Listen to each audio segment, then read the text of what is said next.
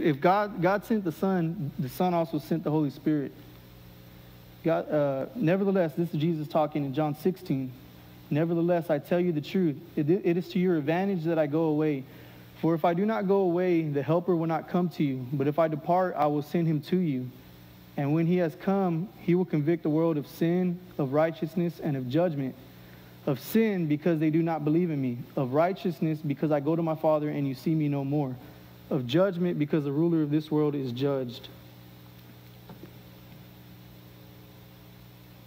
Okay, so the first thing that the, Holy Spirit convicts us, us is sin. And notice it says that you do not believe in me, Jesus said. So it's not the sin of you do this or that, that or this and this or the other.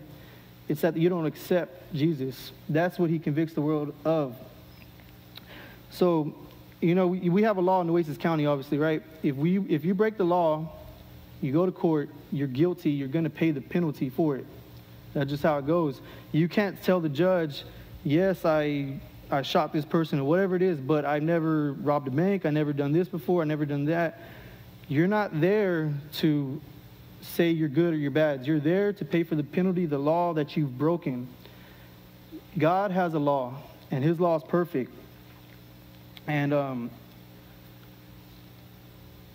we've all I mean, if, if you've ever, his, his Ten Commandments, have you ever lied? Have you ever stolen? Have you ever done any of these things that everybody have, has done? So we're all stand guilty before him. The Bible says that all have sinned and fall short of the glory of God. So we stand in court and we're completely guilty and there's nothing that we can do.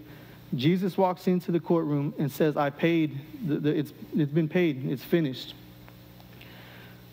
Now, it says he who believes in him is not condemned. That's you receiving the gift from him, him taking your place. But he who does not believe is condemned already. You're already condemned, and he came to save you because he has not believed in the name of the only begotten Son of God. The word believe, it means to put your confidence in. It's not just in belief because James says that the demons believe and tremble. So it's putting your faith in him. Um, it also says in uh, John 3:36, He who believes in the Son has everlasting life. He who does not believe the Son, of, the, the Son shall not see life, but the wrath of God abides in, on him. And the reason why it abides on you is because if he walked into the courtroom and he said, I paid your fine, and you say, No, no, thank you, it, it's okay, I reject your offer. The wrath of God was poured out on him on the cross. And if you tell him that, well, you still owe the penalty. So the wrath of God abides on you. So the Holy Spirit convicts the world of, of sin because they do not believe in him, of